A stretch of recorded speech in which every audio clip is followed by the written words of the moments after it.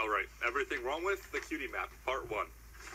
Is anyone else bothered by the fact that such an iconic location in the show is replaced by this heartless toy placement? Thanks for the recap, Dash. Oh, I wonder what changes we'll see in the theme for this season. It's about time for an update. Okay, so they removed the library and added the castle, so this season's changes include click, delete, and copy paste. Can't tell if that train is 3D or just really well animated. I love how the train just like, nope, nope, nope, nope, I'm out of here. Welcome. This abundance of friendliness is the closest the main six will ever come to meeting their own fandom. Party Favor just walked over to Rarity with the sole intention of just staring at her as creepily as possible. The first words out of this mouth are welcome.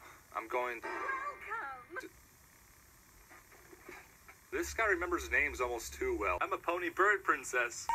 Technically, the marks on our butts brought us here. Song time? Song time.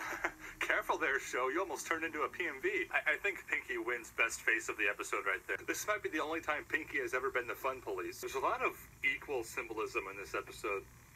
Like, a lot. like, some subtle, some right in your face. You're not supposed to know we're here. Is she talking to me? Was that in the script? When you're looking at someone, sometimes you'll look at both their eyes at different times. Like, you'll be looking at one eye, then you look at the other eye.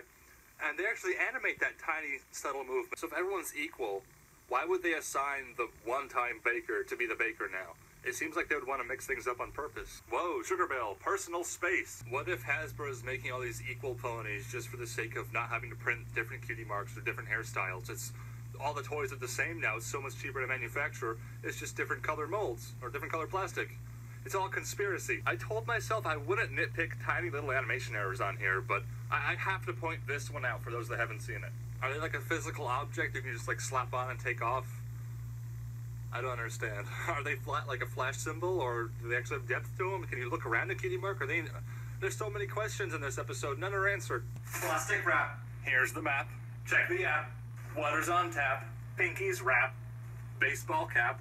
This is crap. Wait, so when you remove the cutie mark, the equal sign just appears? Alright, it was a little bit creepy before, but now it's officially getting disturbing. Translation? Screw you, yellow horse. There's the Facebook joke to make in there somewhere. How does not funny Pinkie Pie manage to be even funnier? They told me not to watch ponies all night long, but I didn't listen. How does one open hooves? Someone needs to edit Starlight into every friendship letter ever. The most dramatic commercial break cliffhanger of all time. A small cottage. Applejack's all like, yeah, screw this picture in particular. Pinkie Pie has some serious competition. Just go. You've already wasted 20 seconds just standing around. I love how it's the main six, and then there's all the other ponies. It's the ones that come with the playsets, and the ones on the checkout racks. Wait, hold on.